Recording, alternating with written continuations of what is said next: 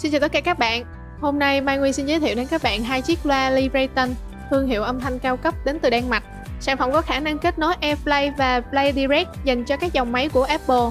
Ngoài ra còn có DNA giúp kết nối không dây với các thiết bị điện tử khác sử dụng hệ điều hành Android và Windows. Vì có công nghệ âm thanh giống nhau nên mình sẽ khui hộp hai chiếc loa này cùng một lúc. Bây giờ mình sẽ khui hộp loa Lee Brayton Zip trước.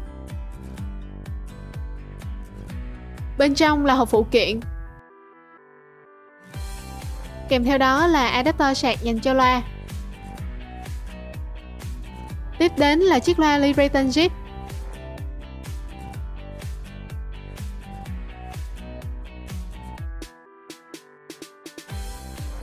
Như các bạn đã thấy thì ở phía bên trong hộp phụ kiện là tài liệu hướng dẫn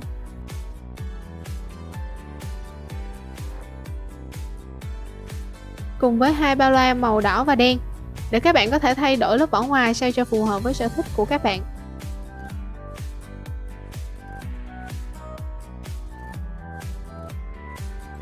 Kế bên đây là hai đầu cắm để thay đổi phù hợp với ổ cắm khi ta sạc pin. Đây là adapter sạc rời với đầu cắm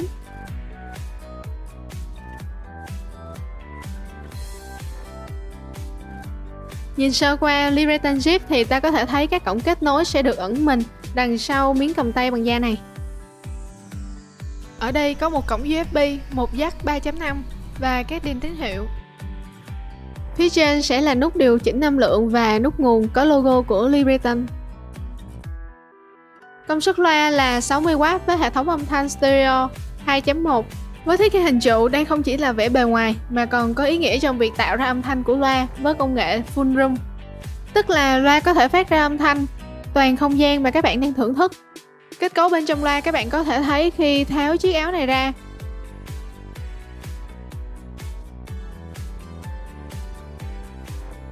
Những khe hở này chính là để loa thoát âm đều các hướng xung quanh, tạo ra full room cho chúng ta.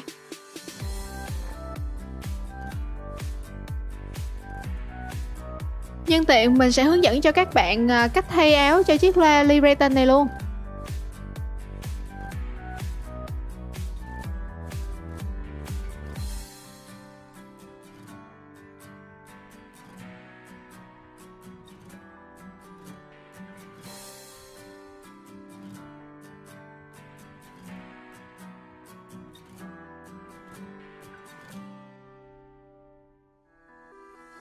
Tiếp theo đó là dòng sản phẩm mang công nghệ tương tự, nhưng có hình dáng khác so với Libreton Jeep. Mình xin giới thiệu chiếc la Libreton Lite. Vừa mở hộp ra, ta sẽ thấy ngay hai dây nguồn để cắm nghe trực tiếp mà không hỗ trợ cắm sạc như Libreton Jeep. Vì có lẽ do kích thước và tần số âm thanh lớn hơn nhiều so với Libreton Jeep. Ở đây ta có một tài liệu hướng dẫn dành cho Libreton Lite Và đây là chiếc loa Lyreton Live của chúng ta. Cùng là sản phẩm mang một thương hiệu và có công nghệ khá giống nhau. Tuy thiết kế có phần to hơn nhưng Lyreton Live không có nhiều nút điều chỉnh âm lượng, mà thay vào đó là nút nguồn nằm ở phía trước mặt của loa.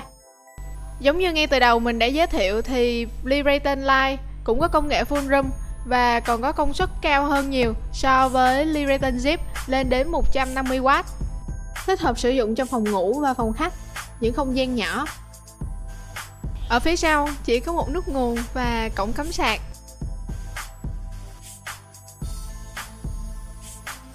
Cái đường chỉ được may viền theo cạnh loa trông rất là đẹp và làm nổi bật hơn về mặt thiết kế. Khác với miếng cầm tay bằng da của Liberton Zip thì Liberton Lite có tay cầm chắc chắn để phù hợp với trọng lượng và kích thước của loa Đầu tiên, mình sẽ thử kết nối AirPlay với loa Vibraton Zip. Sau khi các bạn bật nút nguồn lên thì à, chúng ta vẫn phải chờ cho loa khởi động trước. Rồi sau đó khi à, loa hiện à, đèn màu trắng như thế này thì có nghĩa là loa đã sẵn sàng để cho các bạn kết nối.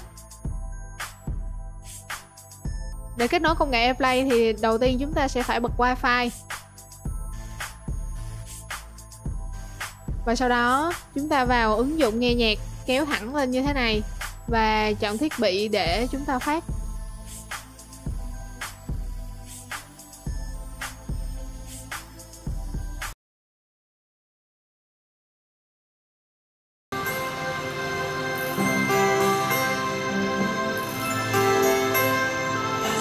Các bạn có thể điều chỉnh năng lượng loa trên điện thoại hoặc trực tiếp bằng nút bấm ở phía trên.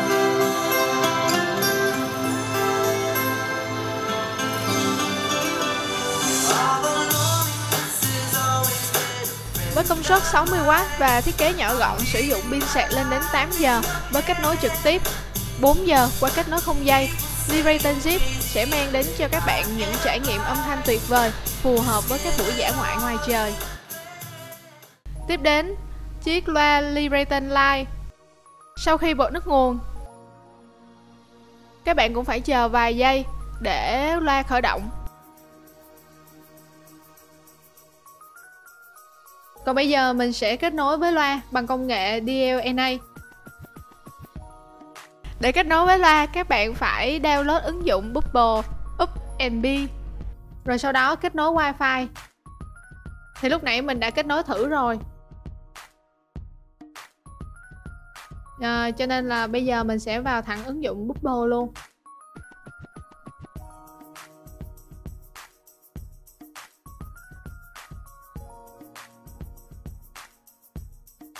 Sau khi vào ứng dụng, các bạn sẽ phải tìm kiếm thiết bị kết nối.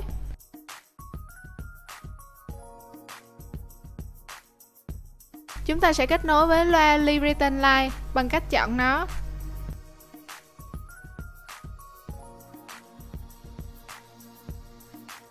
Để có thể nghe nhiều bản nhạc cùng một lúc thì chúng ta phải ạt list nhạc và chúng ta cần phát. Mình sẽ ạt thử một số bài nhạc để các bạn có thể nghe âm thanh của loa.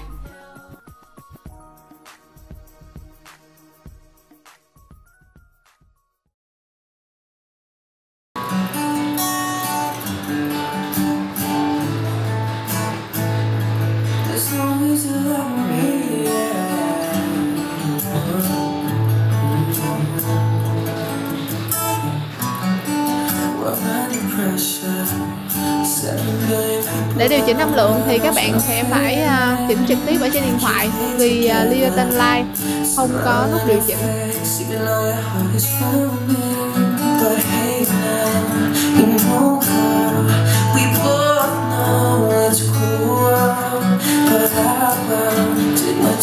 Để dừng chơi nhạc ngoài điều chỉnh trên điện thoại thì các bạn có thể sử dụng nút bấm trước loa